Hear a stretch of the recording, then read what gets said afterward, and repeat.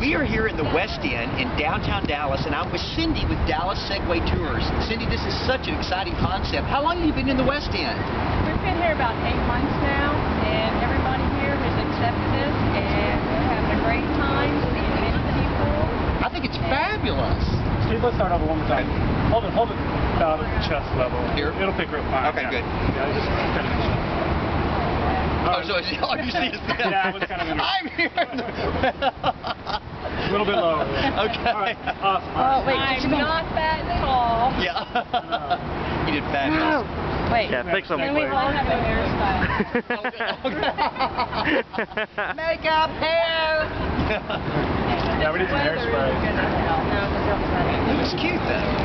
Botox wants sun, everybody else wants wind. Oh, now we have Southwest. Anytime, anytime we do anything downtown like Southwest, it's like sure every 10 minutes they're gonna Me come and her, by. this, this one just has to wear a hat like John. What? One, two, three. Good. We are here in the historic West End in downtown Dallas, and I'm with Cindy with Segway Tours. Cindy, tell me about this. It's fabulous. Okay, we started this company eight months ago, and it's really taken off once everybody found out we're down here.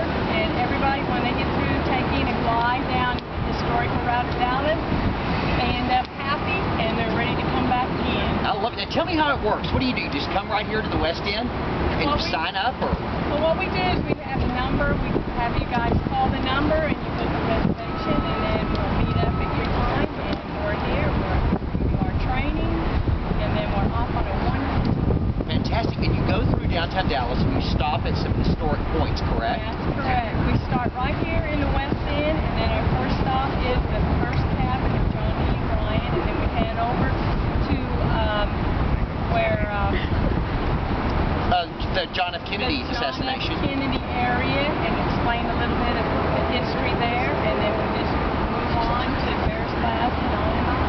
And how long does the tour last? Uh, that tour there lasts for about two and a half hours, including train.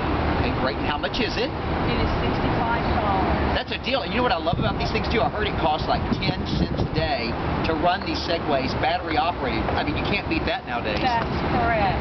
Yes, with gas prices, this is the way to go. I lo- well, thank you so much, Cindy. This is an absolute joy.